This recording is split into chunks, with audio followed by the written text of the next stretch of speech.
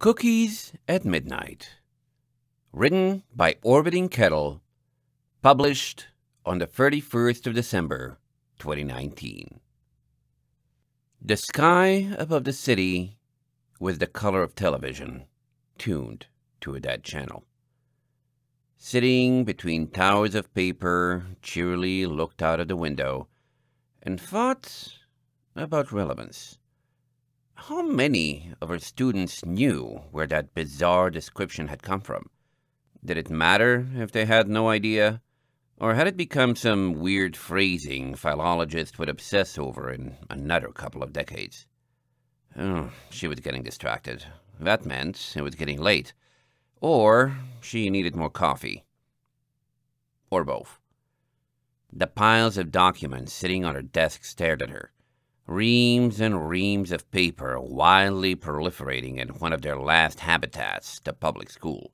Somehow, it was like most of them ended in her office in the end.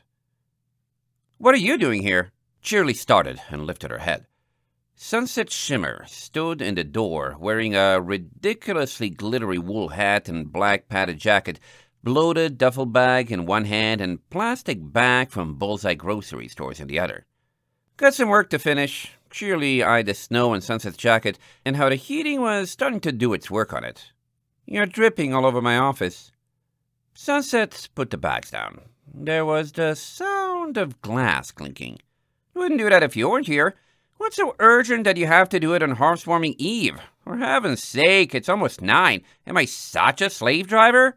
I'm almost done. Look, Cheerilee tapped on a thick manila folder. She had no idea where the school administration still got those, but looking into that was a bit low on her priorities. We have to approve the Sparkle Pie Industries donation for the new wing, and I have to sort for the applications for the replacement for Cranky, and, well, there's a lot of stuff, and if I get it done now, I won't have to fight with it next year. It was admirable how Sunset could almost radiate an aura of authority when she wanted to.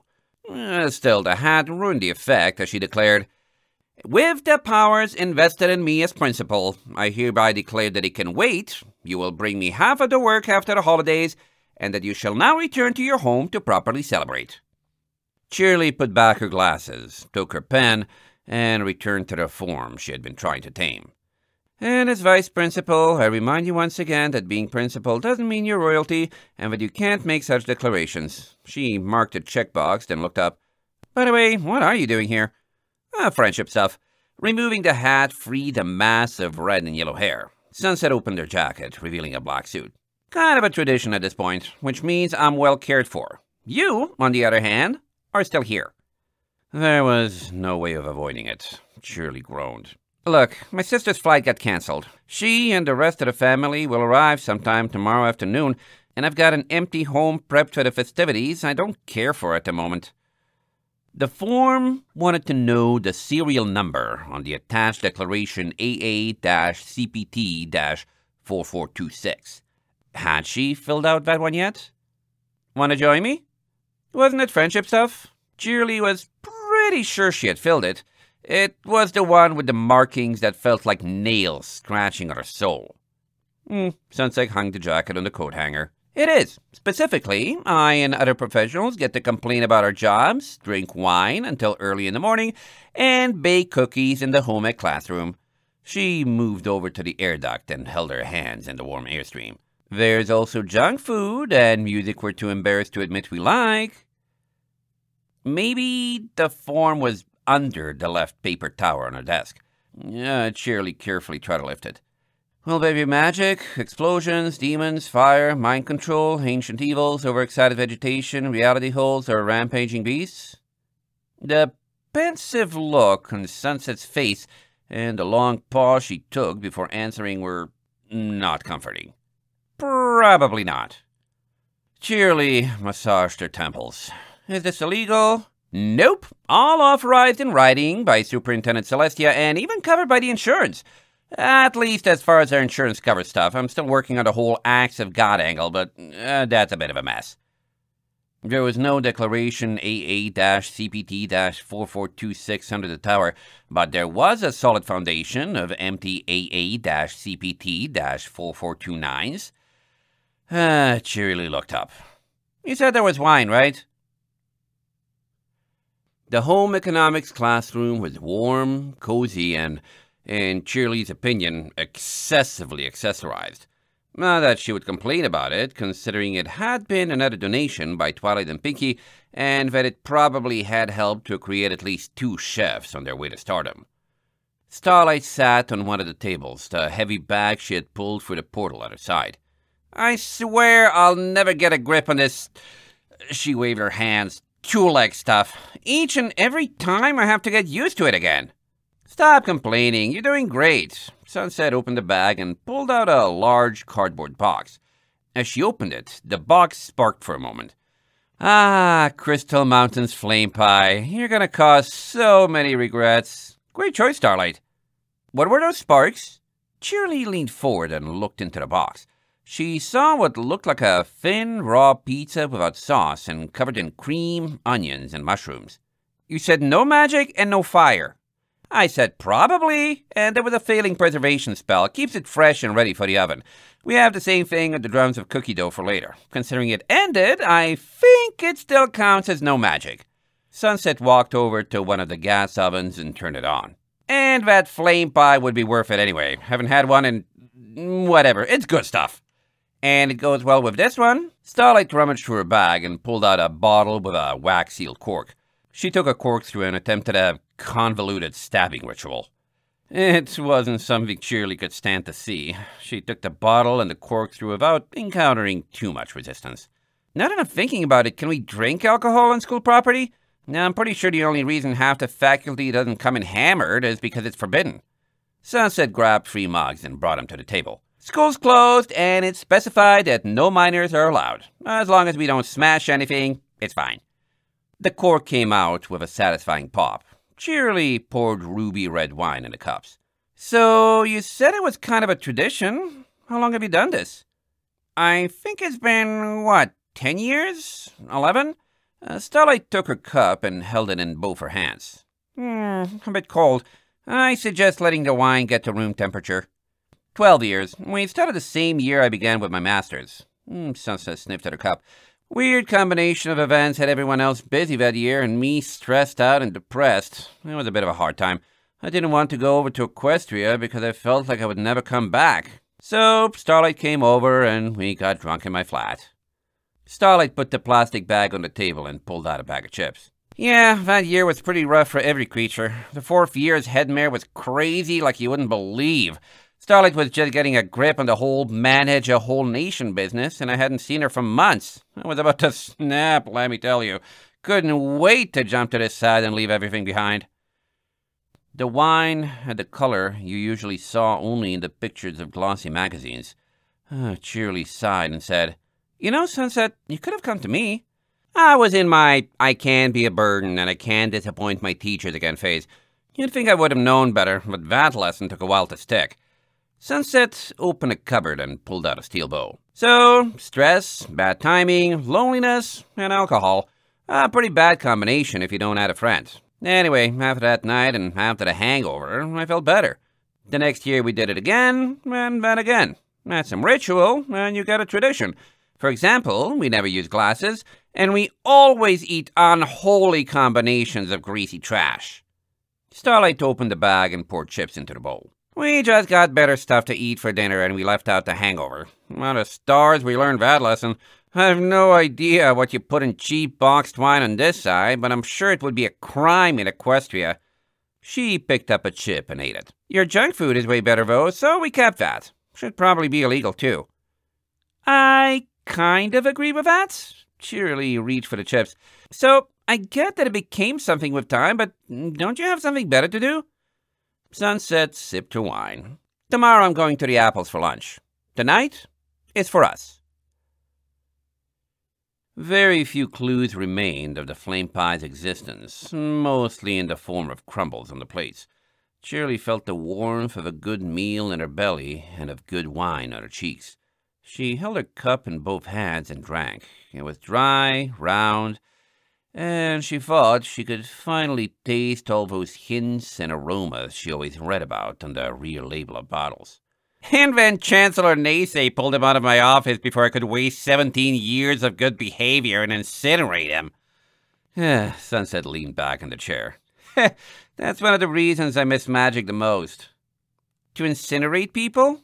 Cheerilee eyed the principal. I thought you've grown out of it. Another bag of chips emerged from the apparently infinite supply. The mascot was a screaming chili pepper, and dire warnings were plastered all over it.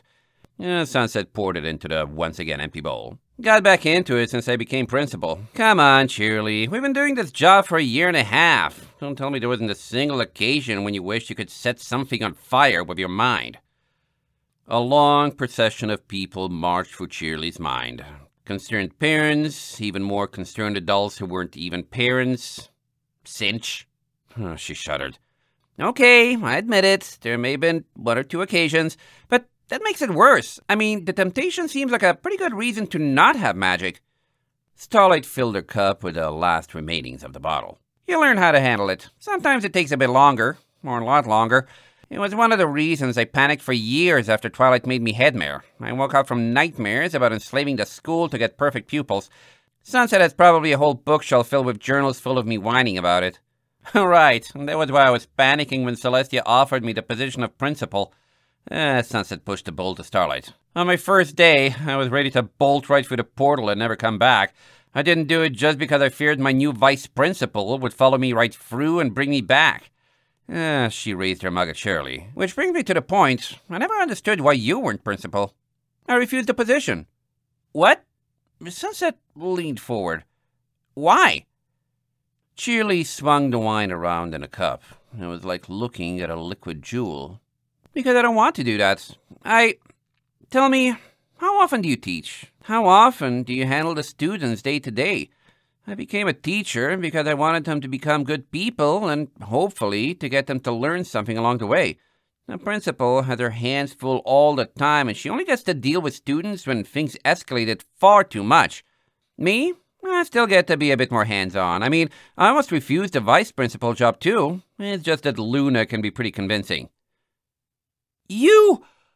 Sunset stood up and pointed a finger at Cheerilee. You threw me under the bus! A very evil and shockingly unbecoming for an educator grin crept onto Cheerilee's face. And you liked it. Come on, you're good at it, and it tickles your soul in all the right ways. I was a teacher, I know you. So yes, I threw you to the wolves because I knew you would skin them and wear their pelts. Quite the visual. I also think I lost track of the. Mm, what was that? Metaphors? Turns of phrase? Uh, Starlight snickered and threw a chip at Sunset. Sit down, there's nothing you can do. She's right about you, and there's no chance in Tartarus she would have taken that job anyway. I mean, I tried to get the Cheerilee on my side to work at the School of Friendship. Whoever managed to teach something to snips and snails was prime material. Didn't succeed, she told me more or less the same thing. Sunset sat down and grabbed a bowl. Cheerilee, you're an evil, manipulating woman. Takes one to know one, Principal Sunset Shimmer. With morbid curiosity, Cheerilee looked at Sunset, grabbing a handful of chips and stuffing it in her mouth. So, Starlight, I never thought about it, but how is your Cheerilee? I mean, as a person? Pony? Hmm, she's a great teacher. Starlight tapped her chin. Mm, what else? She's fiercely defensive of her students. A lot of times she seems to be one of the very few sane ponies in Ponyville. She's pretty patient and dedicated. I see. It sounded like something from a resume. A flattering one, but mm, still a resume. Was she just that? A life of work? She glanced over her cup to Sunset, who, red in the face and gasping for air, was trying to get something from the duffel bag. She seems like a nice person. Sunset pulled a carton of milk out of the bag with shaking hands, her fingers slipping on the cap. Oh, she's very nice. Starlight stood up and went to Sunset. She took the carton, opened it, and gave it back. One of the pillars of the town. Made sure two generations learned something before they had to face the world. A trickle of milk ran down the side of Sunset's mouth as she drank in avid gulps from the carton. Starlight grabbed a paper towel and held it out to Sunset. That's why I think you wouldn't have big issues with magic. You remind me a lot of her. Now, Cheerilee on my side is an earth pony. She can't set creatures on fire using magic, but she can't kick them for a stone wall. And yet she never did that. I admire her for it. Still panting, Sunset sat down again and cleaned her face. Girls, I think we should leave those chips for the gin later on. The sweet smell of vanilla had filled the classroom by the time Cheerilee pulled another tray from the oven. Not that it's not fun at all, but why are we making tons of cookies at. She looked up at the clock on the wall. Half past ten at night? Starlight opened another drum of cookie dough. It was marked, like all the others, with free balloons, and it sparked when the cover was lifted. Because Pinkie wouldn't forgive us if we left all the spies and cultists without cookies on Hearth's Warming Eve. That's the reason we passed the night in the school instead of Sunset's flat. Oh, I under... Cheerilee froze. Sorry, what? Right, that never came up, I suppose. The way Sunset looked away suggested guilt. The awkward grin compounded the effect. uh, that's on me, I guess. It's the portal, really. Over the years, it kinda attracted some attention with the explosions, ancient monsters, and all that other stuff. Almost every house around the school is occupied by an alphabet soup agency, ancient mystical order. Almost every house around the school is occupied by an alphabet soup agency, ancient mystical order, or cult dedicated to the sun, the moon, the stars, or uh, some variation of that. Starlight hauled the drum to the table. It was the last one of the astonishing numbers that had somehow fit into her bag. Oh, most of them are pretty reasonable. A couple are even nice. Well, Matt and they mostly pass the time spying and sabotaging each other. Still avoiding Cheerilee's eyes, Sunset filled up the cookie press. Nothing to worry about. A glacial calm overtook Cheerily. She pulled off the oven mittens and the apron and walked to Sunset. Fists on her sides, she channeled decades of asserting authority over teenagers and said with the calm that preceded the storm, Government agencies and cults spying on the school is nothing? Sunset Shimmer? How exactly is that nothing? A warm cookie in hand, Starlight said. They got a stern lecture. Cheerilee turned her head and asked, Beg your pardon? Cheerilee, look, it's fine, really. Sunset raised her hands. They tried to bag Starlight here half a dozen years ago. She'd come for the portal for Hearth's Warming Eve, and they captured her. My friends got her back, and then Pony Twilight came and had a stern lecture for them. Remember when Twilight got her wings and was this angelic figure shooting rainbows all around? Well, she's gotten a little bit more powerful since she became ruler.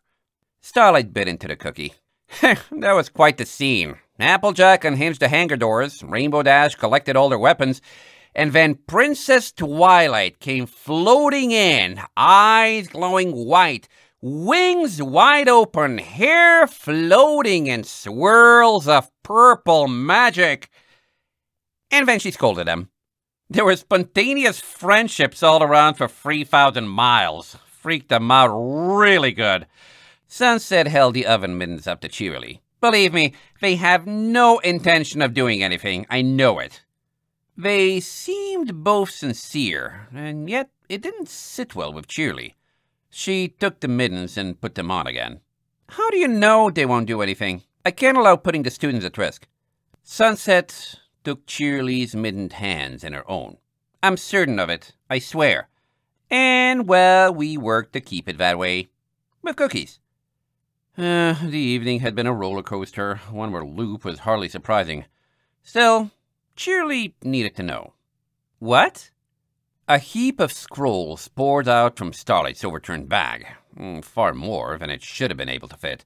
Starlight grinned and said, Cookies and Pinkie Pie. Bony, Pinkie Pie to be exact. See, she's very bummed out that spooks and cultists have to be here for the holidays, so she prepares a little personal message for each of them and gives us the addresses where we can find them. Sunset nodded. Pinkie Pie is the sweetest Bony there is, but this kind of thing tends to make those who aren't used to her nervous. And on this side of the mirror, nobody is used to her. Cheerilee leaned back against the wall. Sunset, head in her lap and chili powder fingerprints in her white shirt, snored. Starlight had rolled up against Cheerilee's side, the sleeping bags and yoga mattresses Sunset had pulled out from her office, forming a functional nest. Pretty comfortable, too. It was clear Sunset and Starlight had some experience in the matter. The clock on the wall told Cheerly it was five in the morning. It had been a strange, fun, exasperating, comforting night. Ah, she pet Sunset's head. What a weird woman. What a bizarre mix of enthusiasm, love, dedication, and recklessness. A lost soul who had rebuilt a whole life in a world that hadn't been her own. One she had made her home. Cheerilee thought about her house, fully decorated and empty, waiting for her sister and the rest of the family to fill it with life for a week. It would happen tomorrow, or was it today? Eh, no matter. She would probably be dead tired and happy. What happened when the holidays ended, though? Knowing what she knew, could she work like before? Uh, Sunset snorted and murmured something. right, dumb question. Cheerilee smiled. Her office felt more like a home than her house. She would keep working and doing what she had done before. The other things she would leave for the principal to deal with. Not everybody could be Sunset Shimmer after all. Her life had become more complicated, that was for sure. Not that she would be alone facing it. a giggle escaped her. Transdimensional Baker ponies were looking out for her. Headmares of improbable schools drank gin in her home ec classroom. Eager cultists wearing robes decorated with stars waited for cookies. Friends. She closed her eyes. Hmm, she should try to sleep. In the morning, uh, there was some cleaning up to do. The end.